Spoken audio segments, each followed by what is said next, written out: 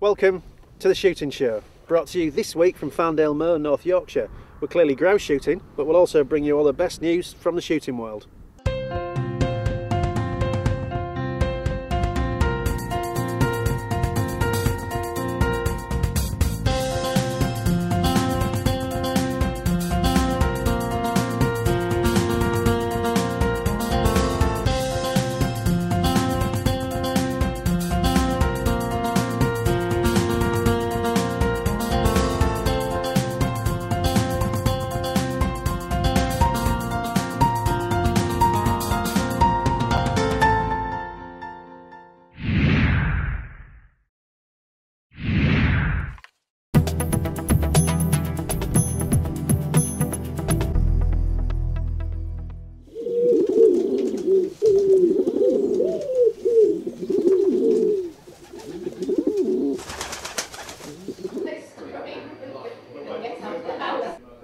The grouse season has finally arrived, and with it, the first chance since January to shoot driven winged game. We've assembled a crack team of guns for the occasion, experiencing a driven day run by Farndale's best, Bernard Moss. The moor is in its full glory. Britain is home to most of the world's heather moorland, and that's no accident. It's thanks to a sustained keeping effort across the uplands of England and Scotland. We're all on the scene and ready to go. But first, some crucial words of wisdom from Mr. Moss. Yeah. Morning, how's it going? We'll sort that out later. The keeper want to do it. The keeper's wanting to do his uh, brief. So we better go and listen to Bernie.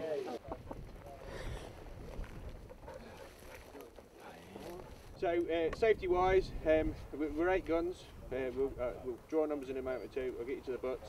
Um, we have these rather nice, fancy new butt sticks, which I think you used last year, didn't you? Yeah. So you'll you'll know the score with them. They are on the butt. Um, Tony should have even put them in for you. All right, so they're there. Um, the idea of the butt stick, of course, is so grouse are coming through, you shoot in front, lift, over the butt stick, shoot again behind. All right. Uh, so the idea is that they break your string and you can't shoot into the neighbouring butts along the line. I've drawn next to your operative Doyle. Oh, you'll have a fun day then. I'm going to be right on my toes.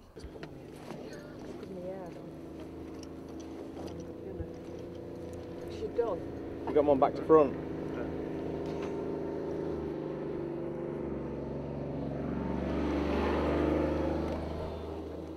Oh, I said, put her a candy, aren't they? That's it. I was going to say that. Morning. Morning. Morning. Morning, Pete. Hiya. Matt Nesfield will be doing the honours for me today. With all the guns installed, we await the start of the drive.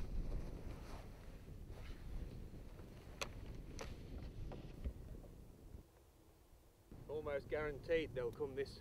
Yeah, to creep out this corner. They love to creep out this corner, in between here and those humps there. Um, but there's Dan look with his orange flag. He'll Yeah, come in. got- I'll get him up onto a high point there, Yeah. and once he's in, it's clear behind. So Roger. get at them. Yeah, got it. Alright. Have fun. We'll see you in a bit too.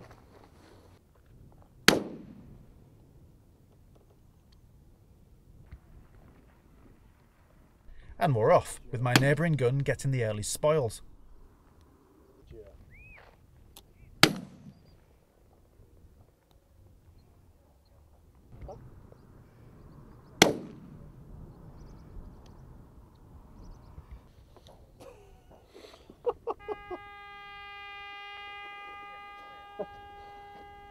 As the beaters come in, a glorious chance arises and is duly fluffed.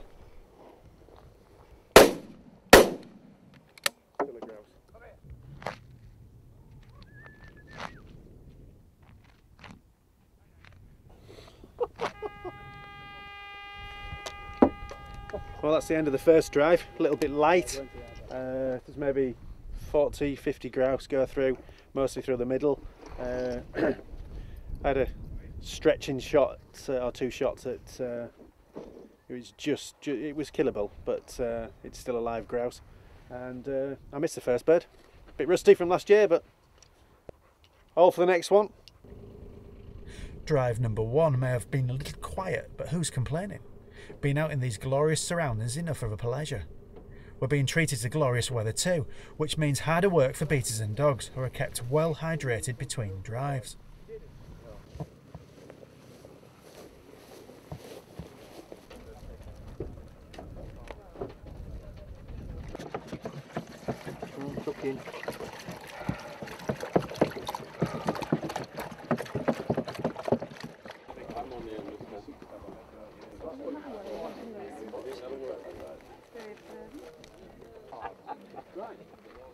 Oh, it's a big gap.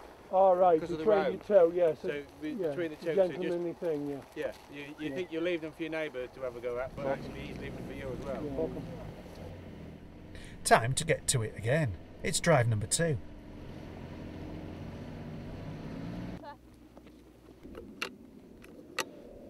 You want this now? Thank you.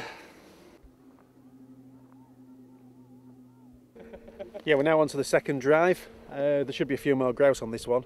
Uh, drives two and three, uh, normally uh, the best two. So, yeah, looking forward to this one. Should be a few more birds. But it's not all about killing grouse, it's just being here and having the opportunity to be here. So, you're on a fantastic place. Right from the start, it's clear that I'll be in the thick of it on this drive.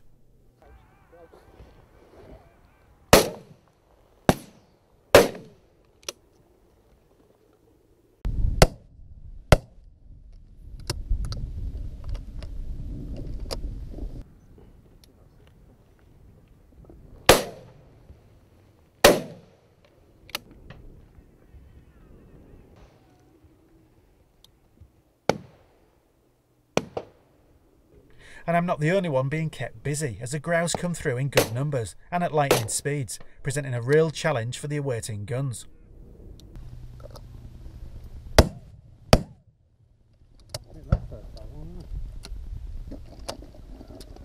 That's going to die, that look.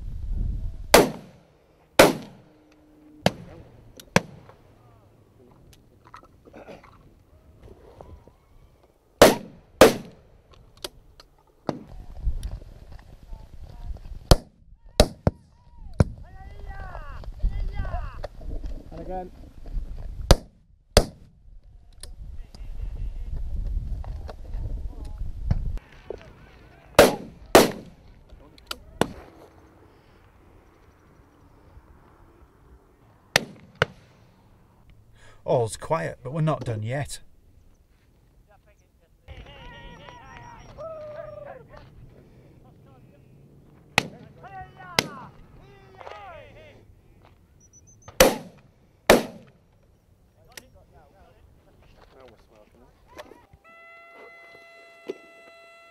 Much, much better drive there. Uh, shot three brace.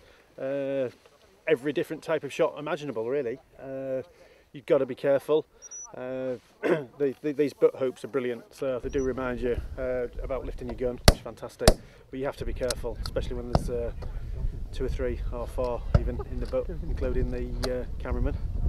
Uh, but yeah, fantastic. Took a while to find them, but once I found them, I was uh, a lot more competent. Hilltop there. Good lad. Good lad. Brody, jump, jump. Morning. Morning. Hiya. Hi. A few more now, is there? Yeah, yeah. I've got like four of you in the boat, you're into.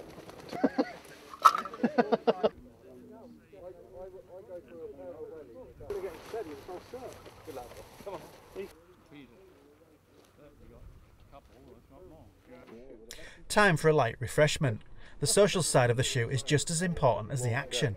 But work's not over for the keepering team. We catch up with Bernard during the break. Coming up far now. Yeah, I was gonna say. I got through. Collected and concentrated. So this is us uh, sorting the grouse, aging the grouse um, into old and young. Um, it's important to know um, how many young birds have been shot compared to how many old, so you can compare um, how big your broods were and things. And uh, it's nice to uh, nice to get a few old ones shot because the young stock uh, produce more eggs for next year. Um, we have an old grouse there with a short rounded end feather and we have a young grouse there with a long pointed end feather. See the difference? Yeah. So that was an old grouse and this one's a young grouse. So uh, if we uh, find we're shooting a lot of old grouse, um, it probably means that they didn't breed as well as we thought they did um, and that we're shooting into our stock, which would mean uh, it was time to stop shooting and, uh, and leave them to breed. Um, if you're getting a nice a nice average, which sort of two or three to one's okay, um, three and four and five to one are you know excellent. Um, and if you get into you know four young to one old, um, you can say you, you probably had a brood average around eight, um, which was really good, and that you can afford to shoot them down um, a bit lower. Um, but if you're shooting as many old as you are young, it's probably time to stop and uh, and leave them to lay some eggs for next year.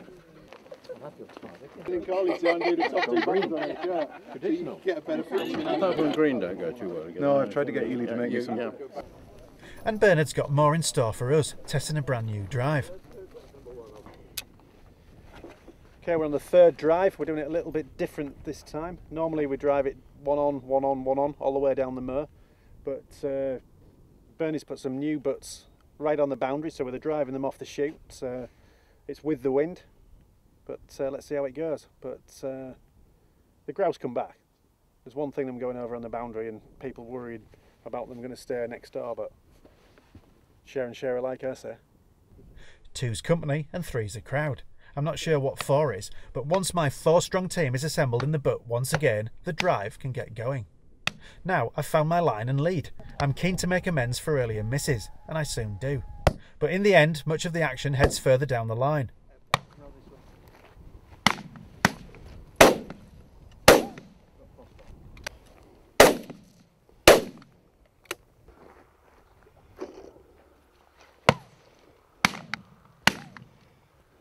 In front, in front.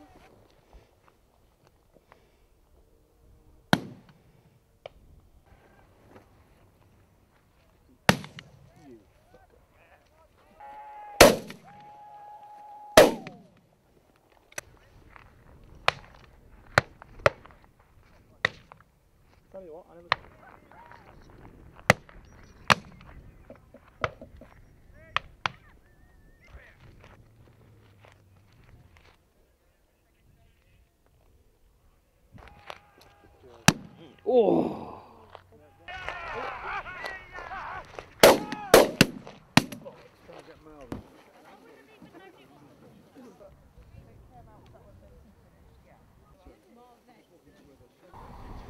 Yeah, it's uh, we're pretty much out of it on the uh, drive before lunch. Had a, a brace, uh, second to last gun. A little bit awkward because there was a couple of cars parked in front on the road, observing what we were doing, which was uh, a little bit disconcerting. So we had to give them best really, and then uh, we had a, an enjoyable lunch down at Bernie's in the Bothy, which was uh, most welcome. Good fun, nice place uh, good company. That must have been a bloody good shot to shot.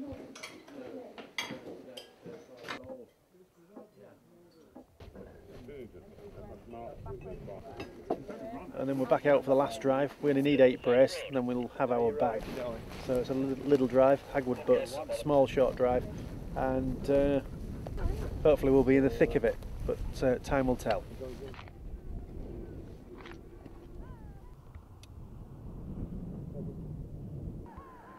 With my guns stoked up for the final drive, I await the incoming coveys, and it's safe to say we get some absolute crackers. No.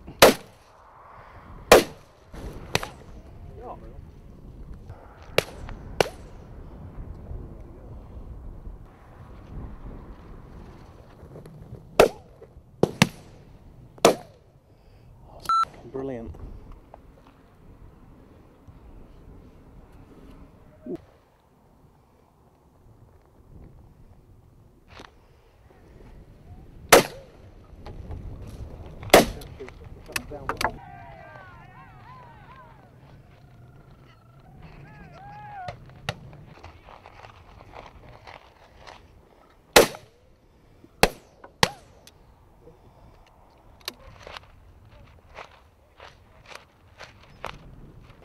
As the beating line closes in, there's time for one more shot behind.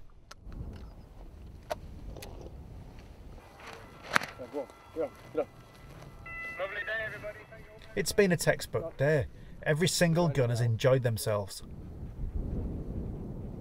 been the highlight of your day, Miles? Oh, it's, it's spending it with the cars. Yeah. The company is delightful. And which was your favourite shot, do you think? The what every bird that I stole from Pete, Yeah. without fail.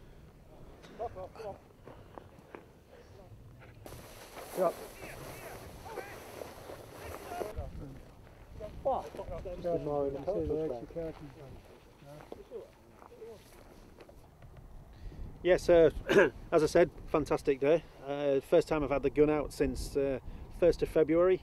Uh, that might be a lie. I was hare shooting the first week of February, so but it's still quite a long time. So making up the excuses for uh, my lack of marksmanship there, but uh, I managed to pull a few brace off for the day. Uh, 525 Browning Light, favourite gun. It's uh, it's not the gun's fault, it's my fault. Cartridge shot well when we were on the birds and uh, bump 30 gram Eley VIP, spot on, sixes. Couldn't fault them. Uh, but this is the guy who made it all happen. On to you, Benny. No, nice day. Um, beautiful day for it. We've had, uh, we'll be about on the bag, I think, that we're after. Um, and the young to old's pretty good. We'll be about three and a half, four to one, I would think, for the day. Smashing. So they've obviously done fairly well. And uh, team's not shot too badly. I'll look that way. Yeah, it's been a, another cracking day as always here. Really enjoyed it. Um, saw lots of birds. And probably more than last year. Big packs as well, which makes Yeah, it really two, exciting. two drives in the middle of the day we're really pleased with. Really good show. Yeah. Yeah, yeah and, big, and biggish packs as well, which is good for it. Yeah, it really gets the, the adrenaline going when you've got a pack of 30, 40 coming through the line. Yeah, absolutely. Um, you start to fumble before you've even fired the shot, so it's really enjoyable. It's the, what it's all about. And um, yeah, I was happy with my kit as well. It's my first time with an MK38 trap one. Uh, 32 gram Zeniths again. Really love those Eley Zenith. And yeah, shot some of the best um, grouse I've ever shot, sort of 60, 70 yarders, crossing sort of behind the line as well. Um, just a good package, and uh, no, I really enjoyed it. Very Thanks good. again. Brilliant. No, thank you. You're welcome, gents. Cheers, As Benny. always, it's always nice to see you every year. Thank you very much. Yeah, good day up with all. Yeah. Yeah. Excellent. Couldn't fault it. Yeah. Wonderful. Jake had to get his head in. He did, yeah. He come Jakey. for a look. Well done, Jake the Peg.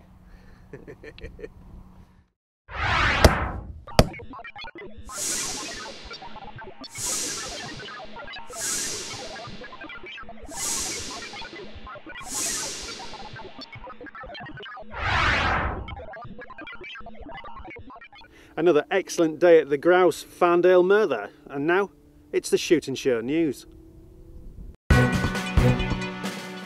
This is the Shooting Show News. This week we report on location from Weston Park. It's the Midland Game Fair 2017. Shooting mad punters flocked to the show over the weekend for one of the last big shopping opportunities of the year.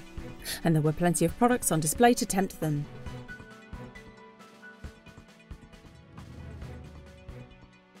First off, we got sight of a lightning quick new gun at the Browning stand. It's the Winchester SX4.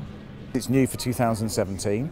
Uh, we've obviously had the SX3 around for many years and it's been a very, very popular model. Obviously, the fastest recycling uh, shotgun in the world with um, Ranieri Tester doing 12 hand thrown clays before they fit the ground. Uh, so it's, it's a good YouTube sensation as well. We've made a bigger, bigger bolt, uh, bolt handle, a bigger bolt release button, and um, changed the fore end shape as well to be a bit more ergonomic. And um, we've got a new butt pad system on here as well, which is uh, absorbing. The SX4 comes in composite and wooden versions and also camo as well, so you've got a little bit for everybody.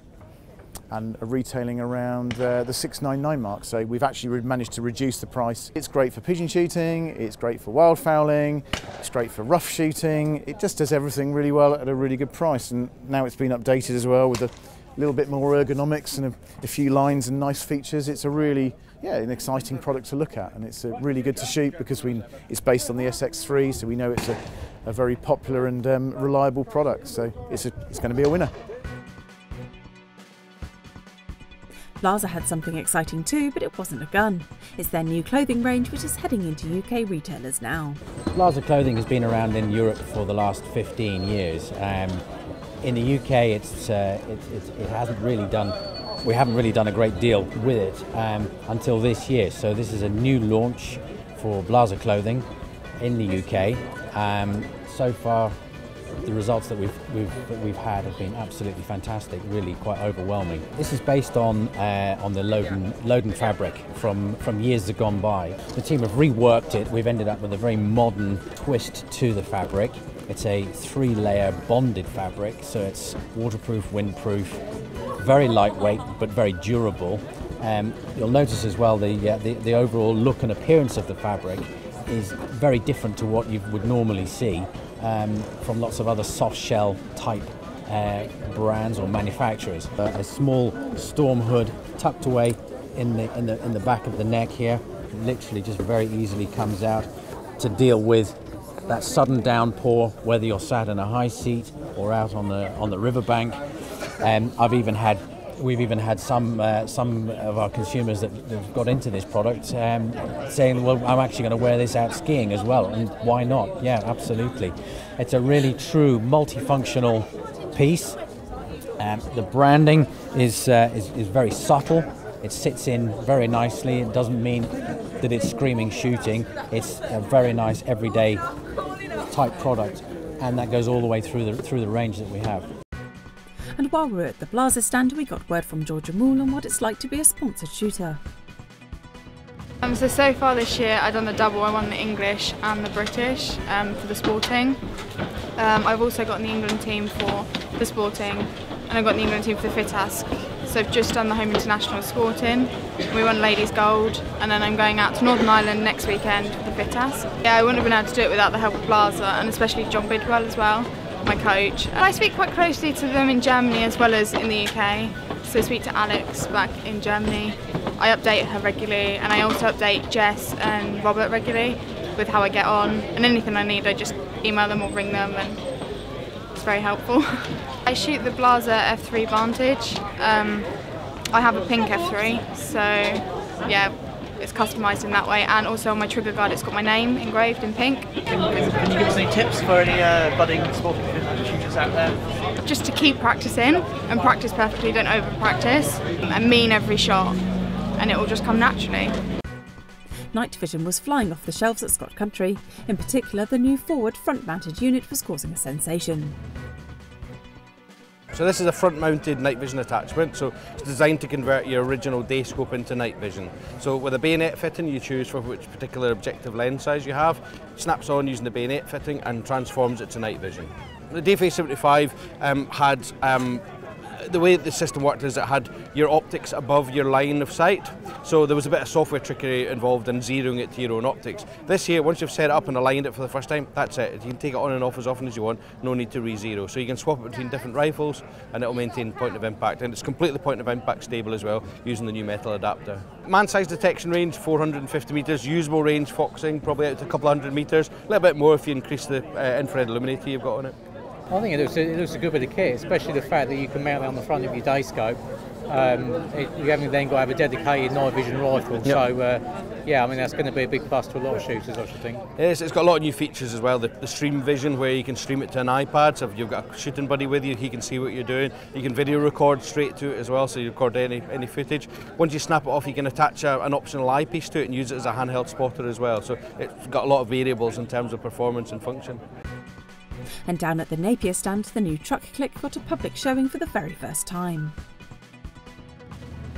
So this is a new truck click. It's designed to lift any carcass. It will lift the smallest muntjac right up to the largest boar. It will easily lift 200 kilos. Um, the good thing about it is that it will actually fit onto any vehicle with a tow hitch. So you can fit it onto um, a truck, uh, any ATV and uh, a, a, quad bike, even a quad bike, you can get it on quite easily. That's the way forward, is to keep everything off the ground while you're gralloching it, because it's obviously it's going into the food chain, so you don't want to get it dirty when you're uh, preparing it. So you can set this up in minutes. Literally, you can just clip it on, and uh, nice and easy, away you go. Comes complete with the uh, with the auto lift, the uh, the aquasac, and, uh, and, and the unit itself all in a waterproof bag so you can just chuck it in the back of your truck there and it'll be absolutely fine. Finally, away from new products, we saw a red deer head at the BASC stand which might just be a record breaker. Brian, right, we've measured it. Um, beautiful head, as we've already discussed. You got 188.49 points, so it's the biggest red stag that we've measured Yes. ever. Um, Scottish red stag. I understand there might be one that's been shot on Arran that is a touch bigger, but you know have to kind of look at that. Yeah. But beautiful head. So I've been through the um, sheet with you. There's the thing that takes pride of place now on your mantelpiece, Right, okay. and um, one absolutely superb uh, red stag. I spotted it in 2016, uh, early April, still in velvet, and uh, I watched it and watched it right up to about the rut time. Come back the following April 2017 and uh, seen him early again in velvet, watched him grow the same thing, and I says, well, he's not going to beat me this time, so put a lot of time and effort in, and I watched him most nights and every time I could. And it just worked out perfect for me. Some of the biggest uh, stags in Scotland come from the area. We've got good feed, but they are traditional hill stags. They, they live up quite high in the forest, but they've got shelter and food so they can come out. So generally the South Ayrshire, Galloway area onto the Isle of Arran will you know quite frequently produce very very good uh, exceptional heads. I mean this is an exceptional head but we'll be pushing up into this area uh, quite frequently. That's all from the Midland. We'll be back next year. That was the Shooting Show News.